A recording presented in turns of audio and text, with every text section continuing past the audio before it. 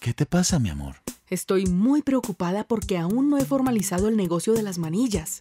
Pues es un tema un poco complicado, pero no está mal que formalices el negocio. De todas formas, legalizar la situación del negocio le daría una mejor imagen. Y por otro lado, te ahorrarías problemas con las autoridades. Sí, tienes mucha razón. ¿Y qué debo hacer para formalizar el negocio? Yo no sé nada de eso. Mira, amor, el SENA y la Cámara de Comercio son quienes se encargan de ayudarte en eso podríamos buscar en Internet las páginas de estas entidades para consultar la información sobre el proceso. ¿Y la información está ahí, en la página de la Cámara de Comercio? Solo tenemos que hacer clic en el enlace Formalizar un negocio y nos mostrará toda la información que necesitamos. Mira, tienes que identificar el tipo de empresa que quieres formalizar. Luego, debes diligenciar la documentación que te piden y consultar que el nombre que escogiste no haya sido usado antes.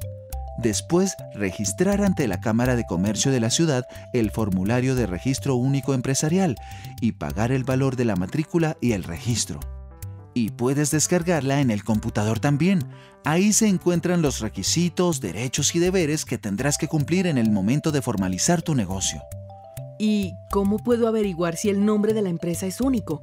La página de la Cámara de Comercio tiene una herramienta que te permite hacer esa consulta. Solo debes ingresar a esta dirección. O sea que toda la información que necesito está en las páginas del Estado.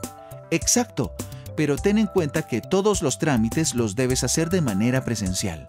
Siendo así, voy a ponerme a revisar en este momento toda esta información. Avísame si necesitas más ayuda, mi amor.